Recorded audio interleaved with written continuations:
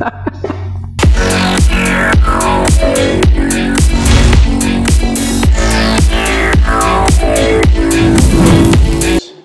no.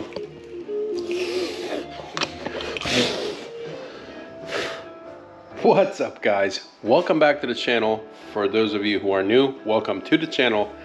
In this episode, I'm going to do the first mod on my BMW K75. Let's get started. How you see this bike is pretty much how I bought it. The only things that I did off camera are um, I flipped this mirror from the other side, I put it over here. Uh, the previous owner had it down here, which looks cooler, but I couldn't see anything because, well, I have big arms and this they were just pretty much blocking everything. So I flipped the mirror over from the other side and put it facing up. Everything's good to go there. I added this GoPro mount right here. It just clamps onto the bars and it works pretty well. I already did a little test. You guys will see that in another episode. And I pretty much use my phone here on this quad lock mount to show me my speed because the speedometer doesn't work. So that's another thing. I didn't do too much to the motorcycle because it runs and drives and I just want to keep it that way for a while until I do a whole bunch of mods this winter.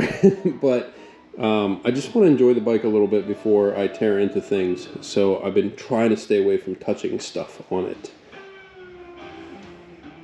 Technically the first modification is this vertical plate mount. The previous owner had it horizontal and when I went and did title transfer I ended up putting a vertical plate. I got a vertical plate at the DMV. Today I will be replacing this LED taillight. The guy I bought this bike from put this taillight on here and unfortunately the LEDs are dying for the um, the taillight portion. The brake light works, the turn signals work, but there's no taillight. They just started getting, like the second day I owned it, it was just flickering and then they went out. So um, I didn't tell you this, but I did ride the bike a whole bunch, just like that, just not in the dark. I'm gonna flip this world's smallest key here to the on position so I can show you. There's absolutely no taillight. It's supposed to be on right now. It was lit up um, when I purchased it, not very bright, but it's pretty much gone right now. And I'll show you the this motorcycle has really weird turn signal uh, buttons. And on the controls here, these are OEM. You have your high beam, low beam. Um, up here is just the uh, cold start. Can't really call it a choke, but I guess it just advances the throttle for the cold start. There is the left turn signal. You click that on and it comes on. The right side has the right turn signal. You click that on for it to go on. And to cancel either side, you push this button up, right? So weird. But as I was riding this bike, I realized that when I use my turn signal and I take a hard turn, it actually cancels the turn signals out. I'm not sure if that's just like something that's jacked up with the spike or if it actually has canceling turn signals, but it's kind of nice. So yeah, that's how you uh, turn the turn signals on and off. Some of the things that you may have already noticed is this integrated LED uh, headlight and turn signals. The headlight's really bright. I haven't really ridden it in, in like pitch black dark, but there is the low beam. There's actually like three LEDs up here. The high beam is right there. Let me try to flip that on here for you. There's the high beam, which keeps the low beam on and turns the high beam on. Okay. And then the turn signals are built in. Okay? And then the other side is obviously the left. Okay? So headlights are pretty bright. Turn signals work. They're integrated. At some point, um, this had a, this is a, a Koso uh, gauge. The tach works. Oh no,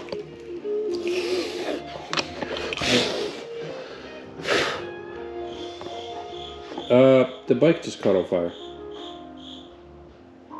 That sucks. Holy shit. I got that on camera. Okay. The bike just caught on fire. Awesome. Right underneath the fuel tank. I'm going to take care of that, and then hopefully I get to film again.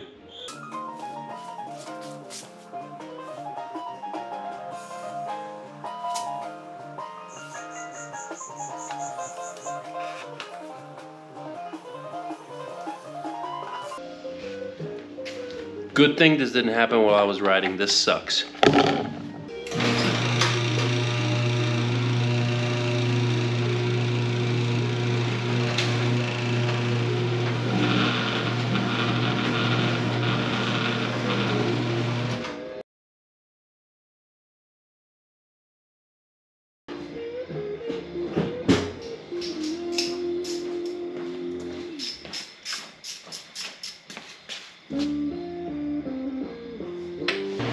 Well, I never would have thought that I'd be filming while my motorcycle catches on fire essentially. I mean it was it was almost there.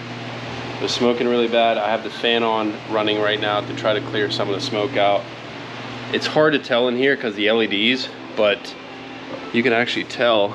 I don't know if you can tell the smoke just billowing out of my shop. It's bad. This thing smoked for a while. I don't know if I cooked the battery. Hopefully the ECU is okay. But from what I can tell, it's the ignition wires. Um, I have it tore apart already.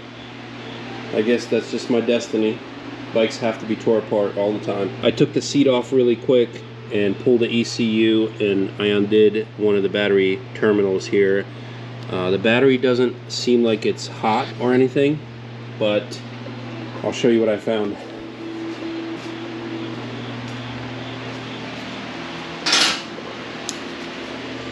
So the smoke was billowing from the battery, obviously because that's shorting out.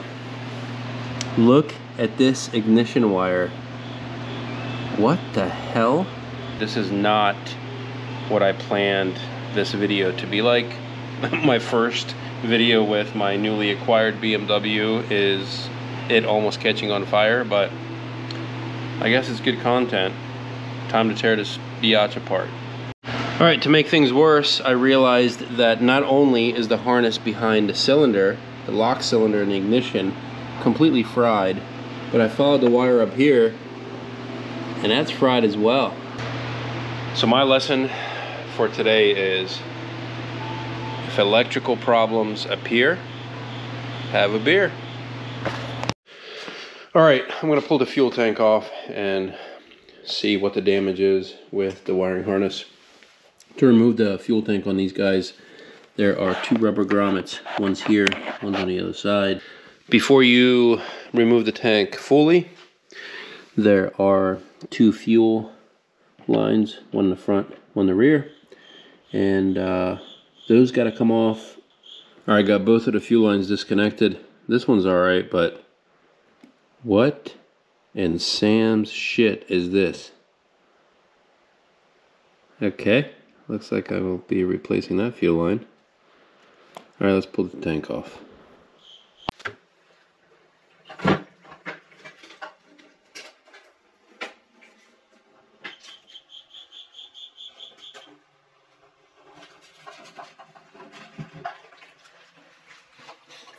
The arcing and the short that happened actually put a mark on the bottom of the fuel tank I'll show you. Right there. So, talk about some luck. I don't know, man, but uh, at least this thing didn't go up in flames. It looks like this may be wiring for, I don't know, it goes all the way up to the front headlight, so it's probably the headlight wiring stuff. This box does not look factory. Maru.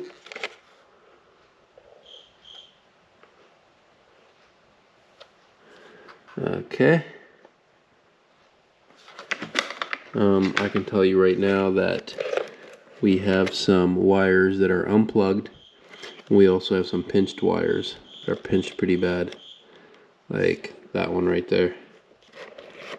So I'm going to have to address all that stuff no loose connections so far and everything looks fairly clean and dry in here so that's that's a good sign. All right. The right side of the bike where the ignition is mounted there's some electrical tape here. That's never good. Probably shouldn't tape that like that. Um, you can definitely tell that there are some fried wires right there. They melted and the entire harness is melted all the way around. And it loops into here. And it's also melted here. Very crispy. And melty right there. I guess I'll start taking everything apart. I'll match up the wires. And we'll see if we can get it uh, fixed up here. You can see that from the ignition where I believe that the uh, short started all the way back through the wiring harness where this crimp connector is. Burned up all of that stuff all the way into the harness in here. Back up through here and the secondary harness that goes up to the headlight that's messed up too. I believe it all started right here where this um, ignition relocation is. The back of this um, ignition where the positive wires are touched right there on the frame and uh, that's what I believe caused the problem. I'm thinking I'm not sure if I want to put that um, ignition cylinder back on the bike so I'll either do like an RFID or something similar until I get things sorted so all right, guys, it's been a couple of days and I racked my brain and got a couple of things in order before I decided to work on this again. And I think we're gonna do all right.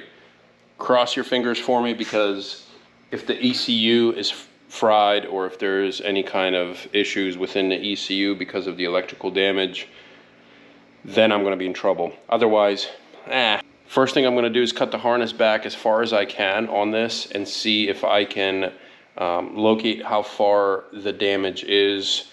One thing with wiring is if it gets really hot and brittle, it'll cause damage not only right away, but sometimes down the road. So just because the insulation looks okay, doesn't mean that the wire's okay underneath it, so I'll keep cutting back. Um, if I have to replace an entire line of wires, I will. The strange thing to me is that the ignition wires are burned up, but then it comes back out of um, underneath the seat and goes up and it burned up the headlight um, harness as well. First thing on the agenda is to go wire by wire and figure out exactly how far it's burned up down in this harness here and then I will be essentially just cutting each wire where it's burnt and then uh, either piecing it into a part of the harness or just making a whole new thing. This is an ignition wire harness for this bike and it's so melted, awfully melted, that it's time for this to go. So I may just use a basic uh, guide. Let me pull this out here. Look at how bad this is. This just burned. I can't believe it didn't actually go up in flames. I'm going to use this as a basic guide and follow the ignition wires and where they go. The colors really don't tell me much here and I already looked at the wiring schematics and they don't match. So at some point somebody extended some stuff or added wires. Upon further inspection, I realized that the damage went all the way into this main box down here that has all the relays, all the switches, and it's going to be a nightmare because essentially I have to unbolt every single component and get the wiring harness, the big wiring harness that goes into everything. I have to remove it and trace how far back the damage is and then rewire everything from scratch. So I'm not gonna record it. I'm not gonna do like, you know, I'm not gonna speed it up and all that stuff, but I will show you here with the camera in a second um, what it looks like and how unfortunate this situation is because if you know anything about these old bikes, they are finicky as it is, but once the harness is burned up and you have electrical issues, typical BMW, um, things just go downhill from there. So let me show you what this looks like here and we'll go from there. I decided instead of taking the tray out, I was gonna just remove every relay and wire this way, which lets me get to some of the issues that are in here. I found some burned up wires mainly it was a hot um, positive right here. Um, as, as far as the bike modifications and why I'm removing the physical key and lock cylinder and ignition cylinder is because this is a relocation kit that the previous owner put on there. However, um, the fuel tank sits here and I want um, side covers that match here. I ordered those in carbon fiber, but they're going to take a while to get here since they're coming from overseas. So this unit has to come off anyways. I'll be unbolting that and removing it. Um, on on top of that, the ignition lock cylinder sitting here is bad juju because the frame was rubbing against some positive wire. All right, so this is super temporary, so don't judge me. I do have the main wire, power wire, soldered in with the connection where it was um, jacked up at. I have the accessory wires, even though this looks a little funky here. I have the accessory wires tied in. Essentially, this means that as soon as I connect the battery, the key is to the on, uh, both accessories on. So this eliminates the key completely. If this works, then the lights should come on and um, the gauge cluster should light up and all that stuff. I'm really hoping that it works. It's the first time I'm trying it. Let's uh, connect that ground wire on the battery and as I do that, let's see what happens. We have light, we have gauges, and there's no smoke or anything funny going on. A lot of the ignition wires are exposed, so I'm trying not to move the bike too much. I'm going to try to turn it on. Let's see if it fires up. All right, it looks like we're good to go. The reason it didn't start obviously is because I don't have a fuel tank hooked up and I think uh, I'm a happy camper. It looks like the ECU is good to go. Now I can turn everything off, disconnect it all, uh, get it back up on a center stand and continue fixing the wiring harness. Super simple component. This unit here controls everything. Here is the receiver for the um, RFID key. This is what the RFID key looks like. A lot of the non-name brand or a lot of the units that are made in China will have this little blue key. Nothing wrong with that once again. I think I'm going to laser etch something on here if I end up using this unit. So how I hook this up essentially just to show you guys is I have the unit sitting over here. It comes with this little indicator LED, which is really cool because if you're running any type of uh, indicator lights on your bike. This one here has them built into the gauge, which I'll be taking out. But if you have any type of indicator lights that you want to hook that up to, you can hook, you can cut these wires and hook up the indicator light or just put this indicator light somewhere where you can see, hey, the unit is powered on, okay? I'm gonna put the run position on my bike, aka my power supply. That's on, stating that I put it on, okay? Here, once I get close with this, it's going to show me this LED is red, showing that it is powered on. And then if this light comes on, that means that my ignition, aka like me turning the key on on the bike, is on. I'm going to take my little key here and I'm going to touch it to this pad. Actually, looks like proximity is about, I don't know, four or five inches. And that came on. Now this unit is powered up. You can see the little LEDs on and it gives my ignition, aka my light here for testing purposes, it gives it power. Now the bike has power and you can hit the run button on the handlebar and everything will start. Super simple setup. These guys are very inexpensive. I might even look up the part number on this. I don't remember where I got it, honestly. Um, and you guys can get it. This is a cheap Chinese made model. This is something that's going to be temporary on a bike until I have to tear the whole wiring harness apart. To turn it off, you would hit the off button on your handlebar if you have it wired that way. Or in our case here I'm just going to flip this. And then it powers everything down. And that also powers this unit down and it won't drain your battery. So make sure that when you guys are hooking it up you're not just hooking up the positive and negative from this unit straight to the battery and be like oh I got an ignition. And then you know a few days later your bike won't start because the battery's dead.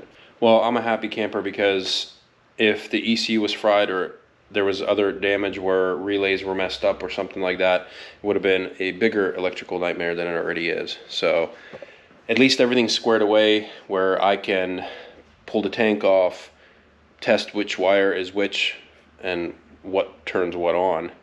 And then I'll wire that in with the RFID tag. And then I guess it's reassembly time. Here I have a relay and it essentially what it does is it switches the power constant coming from the battery over to the ignition without having a large amperage draw or burning up the RFID box. So what I'm going to do is I'm going to wire this in. You have to run a ground, a switched power, constant from the battery, and then we're going to run one one lead out to um, to our RFID box, and then I'll obviously test everything beforehand, then heat shrink and crimp all the connectors, and then got to put this entire mess back together so I can ride the bike until I'm ready to do. Really don't like how this is. It's tied in. There's this bulky thing here that keeps hitting when you turn. There's literal duct tape here on some of the wires and I don't know why there's stuff just hanging out everywhere. So once the bike is to a point where I can essentially put the tank back on, I'm gonna tackle this and redo some of that wiring stuff so at least it's neater. Tuck everything in, zip tie it, and then we'll put the fuel tank back on. All right, so I put the fuel tank and the seat on just to get an idea of where things are going to be placed as far as the RFID receiver and the switch. I put a master kill switch right there. That way everything can be off all the time and nothing is powered at all. Even when you flip it on, nothing happens, at least not visually. Everything is off. My receiver is going to be mounted right there. Right now it's just kind of sitting there. And here is the indicator LED so you guys can see as soon as you touch that the light comes on the headlights come on the dash and everything come on the cool thing is the dash can be shut off with this switch up here and if you want to switch everything off you just kill that. If you try to turn it back on nothing happens until you touch it with the oops until you touch it with the RFID key. I think this is a great spot. I'm right-handed so uh, the switch being on the right hand side and also the receiver um, makes sense. So basically what I'm going to do next is figure out exactly if this is, I'm going to sit on a bike and see if this is an easy spot for me to put the RFID tag when I'm starting it or if I need to move it somewhere else. So I know it looks like a royal mess right now and everything's going to get cleaned up before I put it back together but um, I do have the main box for the RFID which is sealed with black silicone so that's a sealed up unit now I do have this relay right here and the reason we hook that up is because we send the signal from the RFID box to this. And then this has a solid constant power running from the battery that's also fused. I put a fuse in there. It's right here. And then this moves the power to the ignition wires which are now crimped and underneath here. Another thing that I did was take the fused accessory uh, signal that comes from the fuse box and I ran that to the RFID unit. So now my accessory uh, fuse will be for the RFID specifically.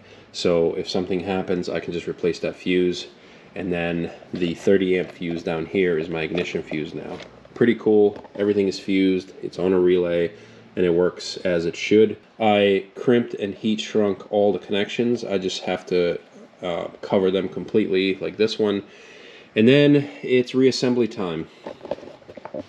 This has been kind of uh, a pain in the ass to do. One thing I did find buried in the harness is an accessory 12 volt plug that you can use for like a cigarette lighter, a cell phone charger, or something like that and it's long enough to reach my uh, quad lock up here. So what I may do, and I'm really considering doing this, is run this unit and power the quad lock. Uh, I just have to buy the um, the plug-in piece that fits here to charge my phone. So then that'll be done. I'm not going to do heated grips on this unit, at least not yet, but this right here is fused and it's long enough. So I think the quad lock is going to be powered.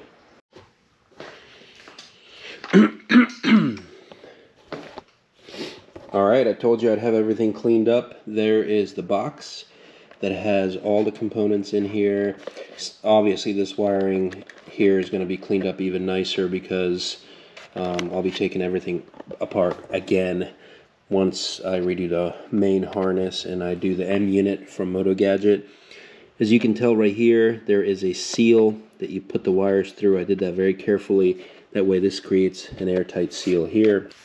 I just wanted to show you where I put the LED. It's right on the side of the box here. So when the seat and the fuel tank are on, whenever you do the RFID ignition, you can see a red light is on and it stays on until you flip the switch down. Pretty cool.